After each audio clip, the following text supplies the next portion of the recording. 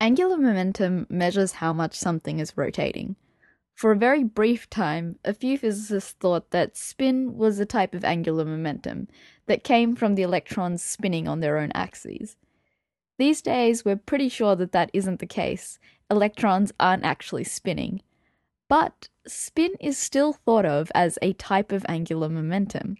It's referred to as intrinsic angular momentum, angular momentum a particle just has without physically rotating. The idea always struck me as odd, and the two arguments I've heard for it seemed weak. The first is that, in quantum mechanics, even though angular momentum and spin don't obey all the same equations, they do both obey one particular one.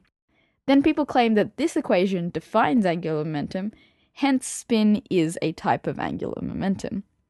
I never understood why this random equation was so important. The other argument is what we looked at last time the Stern Gerlach experiment and similar. There, I thought the argument was that charged particles that have normal angular momentum act like magnets. Particles with spin also act like magnets, so let's just say that they have a type of angular momentum too, an intrinsic type. I thought that that was unnecessary. Couldn't you just say that spin is an intrinsic magnetism instead? Isn't that a simpler explanation? In the last video, I asked you to research spin for me, which you did a brilliant job of. I did the homework too by reading a bunch of things, and I realized that I was wrong about both these arguments. There is a very good reason that suggests that this equation defines angular momentum. I'll explain why in the next couple of videos. But today I'll talk about why I was wrong about the Stern Gerlach experiment. The angular momentum isn't just a useless byproduct, it's actually pretty crucial. And so maybe spin is angular momentum. The mysterious Stern Gerlach apparatus is actually just a giant magnet. But a regular magnet wouldn't be enough, because if a little magnet was put into this field, it would be equally pulled up and down. Instead, the top bit is made pointy because that makes the South Pole stronger, so the magnet is now pulled upward more.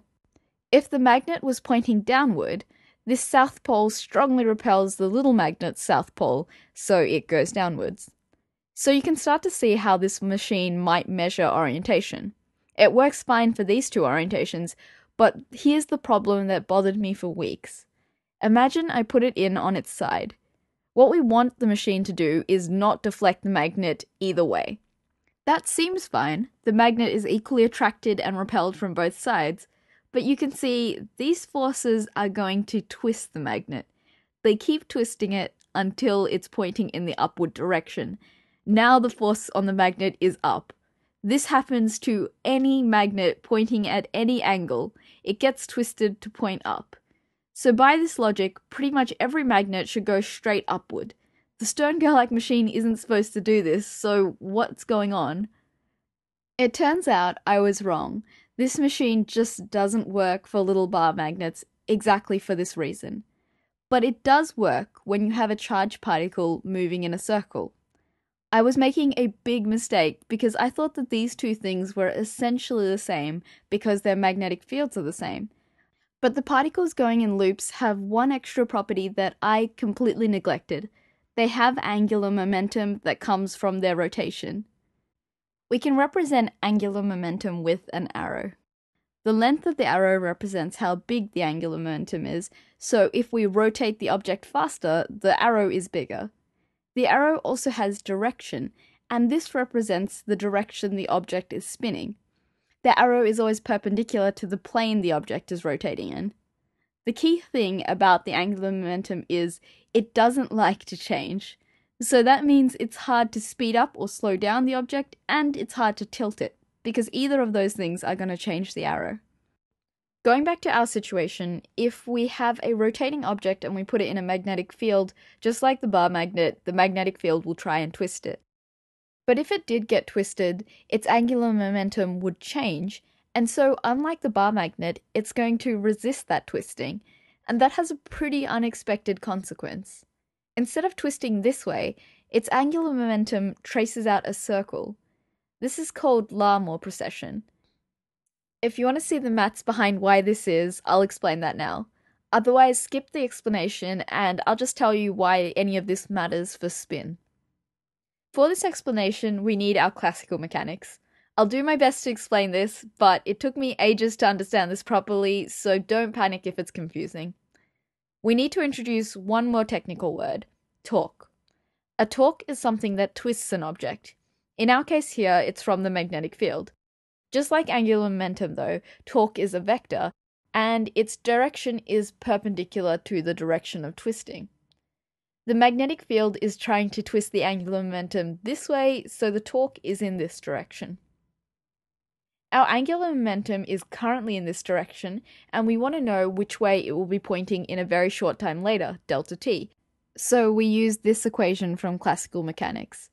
The new angular momentum equals the old one plus the torque times delta t. Multiplying the torque by delta t just makes it smaller, and then we add our old angular momentum. Using vector addition, the result is this vector. You can see how the angular momentum has started to turn around this circle. But if you think about it, the magnetic field is still trying to twist it, but now in that direction. So the new torque is this way. If we apply the rule again, the result is a vector even further along, and if we keep doing it, we can see that the angular momentum precesses. This was so hard for me to wrap my head around because this torque wants to make the angular momentum point up, but it doesn't make it point up any more than it was. Instead, it makes it spin in the other direction. So if you put this thing with angular momentum into the Stern Gerlach machine, it won't just flip up like the bar magnet would. In other words, the Stern Gerlach machine only works if you have angular momentum. When you put a particle with spin in the Stern Gerlach machine, it does work, and so by this analogy, they should have angular momentum. Being magnetic is not enough. And so maybe it is fair to say that spin is an intrinsic angular momentum. But then again, all of this is just an analogy from classical physics. Does Larmor precession even happen in quantum mechanics? Actually, it does, and it's pretty awesome. Say an electron is doing this quantum mechanical Larmor precession. If it's gone around once, you'd expect it to be in the same state that it was in originally, but it's not. You have to let it go around twice before it's the same again. Before this video ends, I want to thank you all so much for doing the research for me last time. I learnt a lot, and hopefully you did too. People told me about ideas I've never heard of and recommended a whole bunch of books too. And so, since that last video, I feel like my knowledge of spin and quantum mechanics in general has just increased a lot. Obviously, I want to do these research homeworks more often, but there's one big problem. A lot of the sources on this type of material are really advanced and confusing, so it could have been difficult to read for a lot of people how can we make sure that everyone can participate in this sort of homework if they want to? And also, I've been thinking about other homework assignments that I could give you. Do you guys have any ideas on what you'd like me to try? Now for this video's actual homework. I'm interested. Did you guys find this video's argument convincing? Should we call spin intrinsic angular momentum? Is it weird to even try and explain spin with classical ideas using classical analogies? is intrinsic angular momentum an inherently meaningless phrase anyway? Every time I ask these sorts of questions, I get a really diverse set of opinions, all well argued, so this one should be fun. Secondly, I mentioned that you can only get an electron back to its original state by rotating it twice. Last time, some people commented that this isn't so weird, that some classical things do this too. What do you think of this? Do you know any examples? Finally, for the classical mechanics fans, I explained why a rotating thing in a Stern Gerlach machine doesn't just flip and point up. But now explain why the force that it experiences is proportional to how much it was pointing up to start with. Next time, I'm covering my favorite bit of all of physics, and so I'm really excited. See you soon.